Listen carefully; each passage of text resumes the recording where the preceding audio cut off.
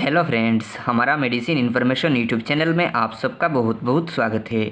आज मैं आप लोगों को कुछ इन्फॉर्मेशन देने जा रहा हूँ कैप्सूल जेलकेल डी थ्री के बारे में और उसका बेनिफिट्स यानी कि फ़ायदे के बारे में और उसका साइड इफ़ेक्ट्स यानी कि दुष्प्रभाव के बारे में यानी कि पार्श्व प्रतिक्रिया के बारे में और उसका डोज के बारे में यानी कि सेवन के बारे में यानी कि यूजेस के बारे में। लेकिन दोस्तों, अगर आपने अभी तक हमारा चैनल को सब्सक्राइब ना किया हो तो इस वीडियो को देखने की बात ज़रूर कीजिएगा।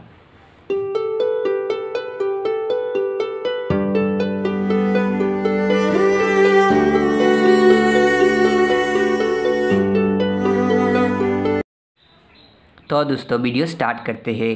Capsules Gelcal D three fifteen capsules packing set में आता है।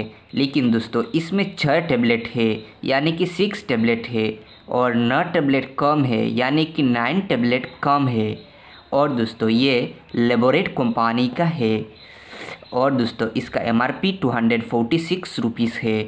तो दोस्तों, अब बात करते हैं कैप्सूल जेलकेल डी थ्री के बेनिफिट्स यानी कि फ़ायदे के बारे में। कैप्सूल्स जेलकेल डी थ्री एक कैल्शियम टेबलेट्स है और इसमें विटामिन डी थ्री है। ये मासूल पेन में बहुत अच्छा काम करता है। ये हड्डियों को ताकत दिलाता है।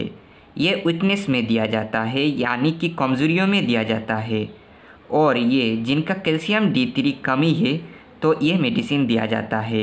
ये सेल फ़ंक्शन में बहुत अच्छा काम करता है। तो दोस्तों, अब बात करते हैं कैप्सूल जेलकेल डी थ्री की साइड इफ़ेक्ट्स यानी कि दुष्प्रभाव के बारे में। कॉन्स्टिपेशन हो सकता है, यानी कि कब्ज़ हो सकता है वॉमिटिंग हो सकता है। नोजिया हो सकता है, यानी कि मतली हो सकता है। लॉस ऑफ़ एपिटाइट हो सकता है। स्टोमक पेन हो सकता है, यानी कि पेट दर्द हो सकता है। स्टोमक अपसेट हो सकता है। हेडेक हो सकता है, यानी कि सिर दर्द हो सकता है।